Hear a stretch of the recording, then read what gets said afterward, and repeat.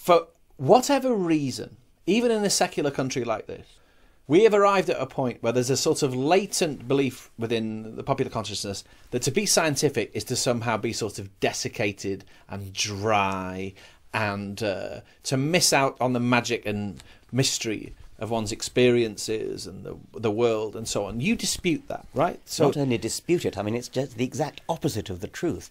Science is wonderful. Science is amazing.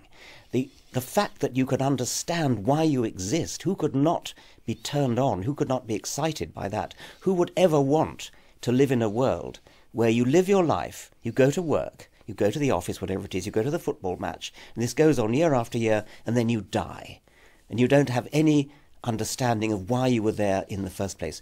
That's desiccated, that's dry. What is not dry and desiccated is coming into the world, as it were, awakening in the, in the world, and awakening in the fullest sense of, of seeing the universe, seeing the stars, seeing down a microscope, seeing what's inside every single cell, seeing what's inside the brain, and marveling at this wonderful gift of life that we have, albeit temporarily, marveling at this gift of understanding why we exist and rejoicing in it for as long as we do exist.